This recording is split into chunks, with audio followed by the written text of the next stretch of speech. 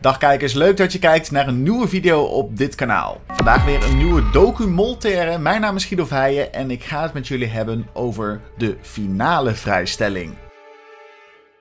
Eigenlijk doet de finale vrijstelling niet veel anders dan een normale vrijstelling. Hij ziet er alleen net iets anders uit. Nog niet zo lang geleden postte Rick McCullough een nieuwe foto waarin vrijstellingen te zien waren, finale vrijstellingen, en een andere soort vrijstelling, een soort gele vrijstelling. Nou ja, alle moloten natuurlijk razend enthousiast, maar niet iedereen wist nou precies wat nou die doorzichtige schijfjes precies inhielden. Nou, dat zijn dus finale vrijstellingen. Ja, en de naam geeft het al een beetje aan. Hè? Je kunt dus een vrijstelling verdienen voor de finale. Vandaar dat dit meestal in de achtste aflevering plaatsvindt. En dat kun je meestal met een opdracht verdienen. En als je de opdracht dus het beste uitvoert, dan ja, heb je al een ticket naar de finale en hoef je de test niet te maken. Het schijfje bestaat vanaf seizoen 12 en wordt sindsdien ja, bijna ieder seizoen wel gebruikt. En in deze video ga ik gewoon puur laten zien welke kandidaten die vrijstelling nou verdienden en op welke manier dat nou precies ging. Beginnend bij seizoen 12, toen kwam het schijfje voor de eerste keer voor. En ook dit gebeurde in de achtste aflevering van dat seizoen. De kandidaten gingen kwartetten en degene die dus het kwartetspelletje won, die won een vrijstelling. Hadewig, heb jij van mij een harte Lisbeth? Nee, die heb ik niet. Heb jij van mij een ruiter William? Nee, die heb ik niet. Heb jij van mij een ruiter Lisbeth?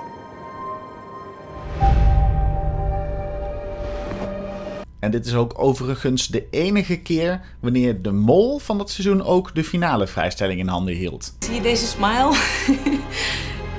ik heb een vrijstelling gewonnen met kwartetten. Dus ik zit in de finale! Een seizoen later, in seizoen 13, kwam de finale vrijstelling ook weer terug. Er was een opdracht met schaaltjes en topito's en wie als eerste een volledige topo bij elkaar speelde, die kreeg de finale vrijstelling.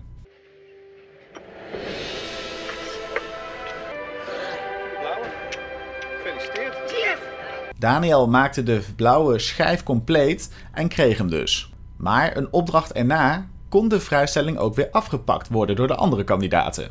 Verspreid over het speelveld lagen allemaal stukjes topito's. En als de andere kandidaten daar samen een topo van konden vormen, dan ging de vrijstelling niet door. Natuurlijk mocht Daniel de vrijstelling die hij kreeg ook beschermen vanuit een helikopter. En daarmee kon hij op de andere kandidaten schieten. Kreeg hij het nou voor elkaar om de kandidaten af te schieten voordat die topo op tafel zou liggen, dan was de vrijstelling van hem. Ja, het scheelde heel weinig, maar Daniel kreeg het voor elkaar om zijn vrijstelling te behouden. Hij hoefde alleen nog maar de test en executie van die aflevering te overleven en dan stond hij in de finale. Helaas voor hem viel hij af bij die test en dus ging die vrijstelling ook gelijk verloren en stond hij dus niet in de finale van dat seizoen. Gaan we dan door naar seizoen 14. Ditmaal kon in de zevende aflevering van het seizoen een finale vrijstelling verdiend worden. De kandidaten die gingen Expeditie Robinson nadoen en werden achtergelaten op een verlaten eiland.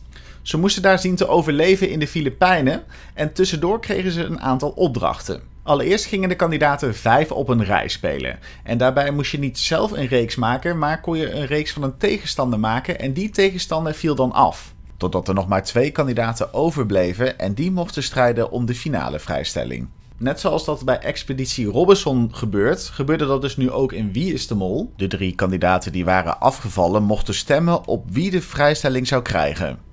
Het ging nog tussen Tycho en Freek. En Freek won uiteindelijk de vrijstelling. Later in de aflevering kon de vrijstelling nog afgepakt worden. Freek moest op een bepaalde tijd in een dorpje bij Art aankomen. En als hij gespot zou zijn, dan zouden ze zo snel mogelijk naar Art toe moeten lopen. En als ze eerder waren dan dat Freek zou zijn, dan zou de vrijstelling teniet gedaan worden.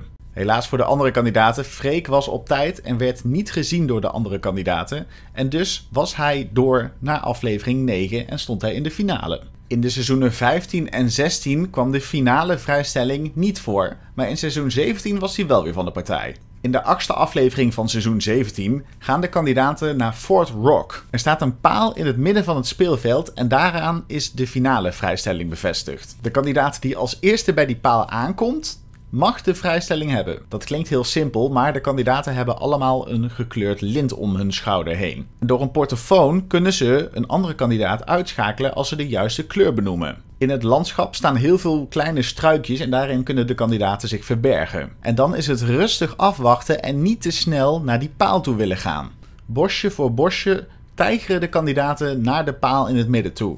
En ze zijn zeker waakzaam, want er staat veel op het spel. En nadat Sanne wordt uitgeschakeld, wordt al snel daarna Thomas ook uitgeschakeld. En gaat het nog maar tussen Diederik en Jochem.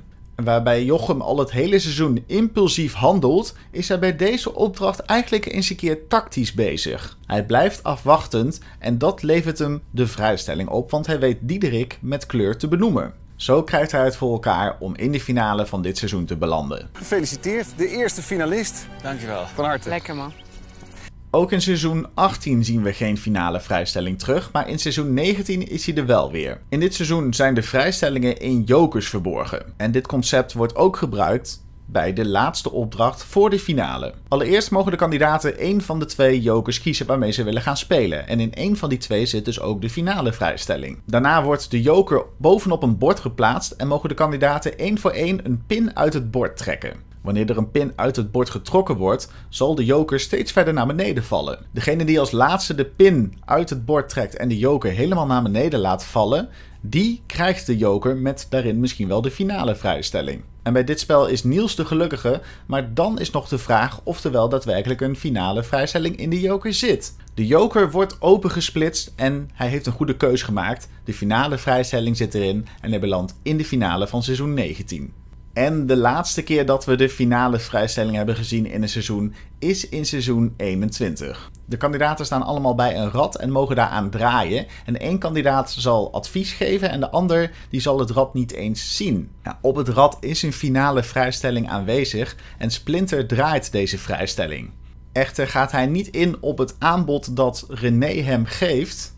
En dan besluit hij nog maar zijn draai te leveren aan het rad. Waardoor de finale vrijstelling dus niet meer doorgaat.